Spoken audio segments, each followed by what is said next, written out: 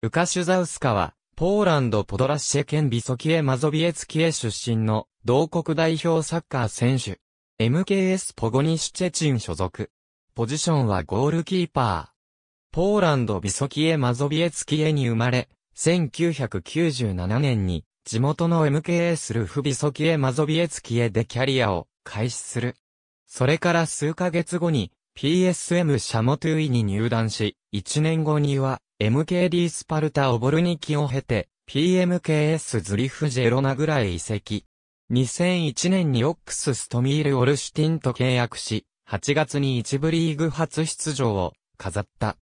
2002年には強豪レギアワルシャワへ移籍するも、出場機会を得られなかったため、ヤギエロニア・ビャウィストクへの期限付き移籍を経て2004年に、コロナキエルツェ完全移籍を果たし、2006から07シーズンは、ポーランドカップ決勝まで進出するシーズンを過ごした。ダンディユナイテッド2007年5月30日に、スコットランド一部のダンディユナイテッド FC と2年契約を締結。アメリカ合衆国でのシーズン前の試合中に足を骨折したことで開幕戦に間に合わないことが決定したため、代役として同胞でポーランド代表のグジェゴシュ・シャモトゥルスキが半年契約で加入することとなった。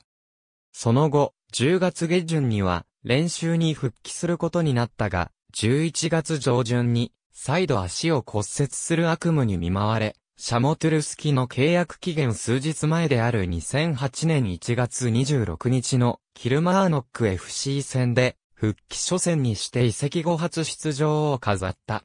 なお、同試合は首相バリー・ロブソンのダンディユナイテッドでの最後の試合であり、試合後にセルティック FC へ移籍していった。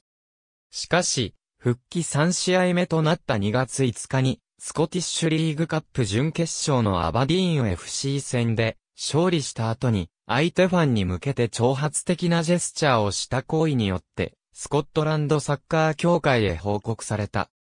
同試合では、両チームの GK にプラスチックカップ、チェコレート、1ポンド効果等が顔面に直撃しており、審判に対してもアバディーンファンから効果が投げつける、荒れたものとなっていたことが判明したが、最終的に1ヶ月後に、スコットランドサッカー協会から、ザウスカの行為に対して500ポンドの罰金と警告が言い渡された。2008年12月17日に、クラブからの契約延長の申し出を拒否し、契約満了となるシーズン終了後に退団することが決定した。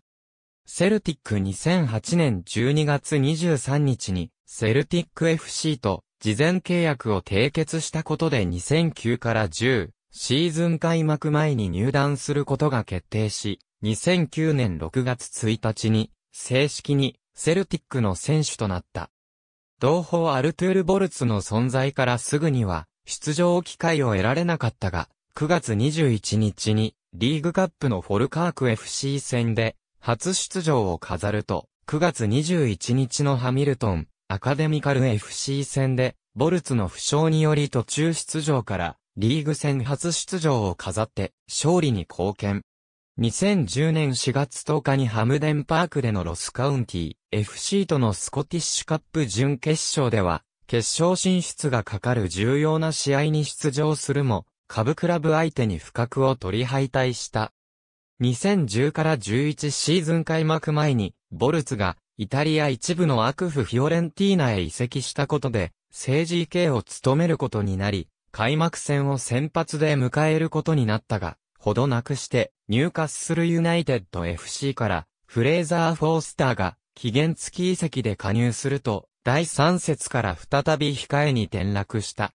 同シーズン終了後にフォースターがニューカッスルへ復帰したことで、翌2011から12シーズンに、政治系となり、ハイバーニアン FC との開幕戦で先発し、無失点を記録する好調な滑り出しとなった。しかし、フォースターが再度入荷するから期限付き移籍で、加入するとまたしても控えに甘んじることとなった。